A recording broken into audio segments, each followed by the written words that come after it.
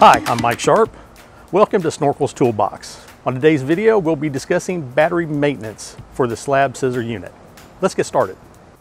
All right, folks, I've got a simple video for you today. Battery maintenance. First thing we're gonna do to check it, we're gonna remove the caps from the battery. Look in the battery and make sure that there's at least a quarter inch of water above the lead plates of the battery. We want to check each cell. Take the cap off, take a look inside. If any of them's low, you'll need to use distilled water to top them off. Next, we want to check the battery connections. Make sure that they're tight and make sure there's no corrosion on the batteries.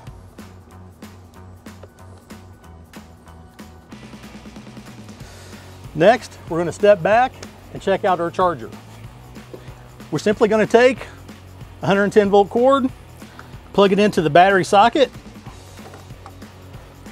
At this point, your battery is going to power up, or your charger is going to power up.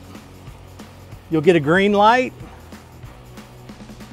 Next, you'll get a flashing green light, which indicates that the charger is charging the batteries. For your battery check, you want to do the same thing on this side of the machine.